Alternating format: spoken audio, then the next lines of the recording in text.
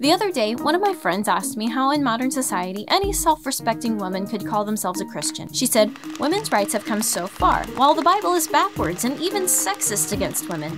She argued that every word of it was written by a man, and then said that the Old Testament allowed women to be treated as second class citizens, practically property, and in the New Testament, women are told they just have to be quiet and listen to the men. So, my question today is Is the Bible sexist, and by extension, Christianity itself sexist? Let me start off by saying I do understand where she was coming from. The Bible does seem very man centric, with most of the main characters throughout the Bible being male. But we also have to remember that the Bible is an ancient book, recorded thousands of years ago. It was written in a time where patriarchal culture ruled the earth, meaning the women of that time were assigned to a lower social status than men, due to men being jerks. Am I right, ladies? But that does not mean the Bible or Christianity equates any less value to women than men. Just because the Bible is describing what a culture was like doesn't mean it's prescribing the way that culture was as a standard to live up to. We can start by looking at the very beginning of the Bible when God made Adam and Eve. The Bible says they were created in his image, both male and female. God spelled it out right then and there that men and women each have the same value and equally share in the image of God.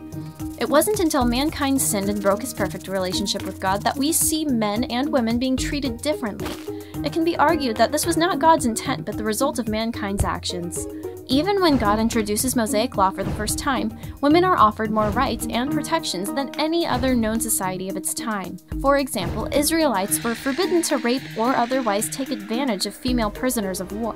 I know this seems like a pretty low threshold that is one degree removed from barbarianism, but for non God fearing nations of the day, things were barbaric and sadly raping and pillaging those conquered from war was commonplace. So mainstream Christians today would recognize that women in the Old Testament were not treated as God had originally intended, but fair minded people will also recognize that Old Testament teaching elevated women and ascribed value to them more than any other known society of that time. Okay, but what about the New Testament? Did Jesus treat women with equality? Well, I would argue that Jesus does acknowledge women's equality, and he does so against all social norms of the time. Just think of the great respect Jesus showed towards women.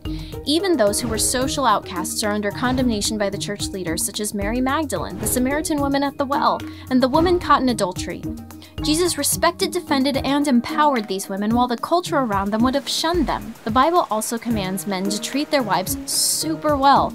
Ephesians 5:25 tells husbands to love their wives the way that Jesus loves the church. That's a high standard considering that Jesus died a brutal death on the cross because he loved the church.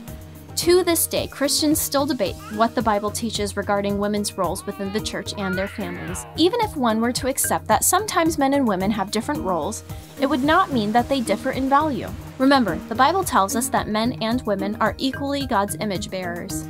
What cannot be argued is that throughout history and around the world, you'll see that the treatment of women greatly improved once Christianity was introduced to their cultures. There's a reason why women's rights movements have always begun in Christianized nations. That should tell you something about the view of women according to Christianity. If you have questions, put them in the comment section below. See you next time.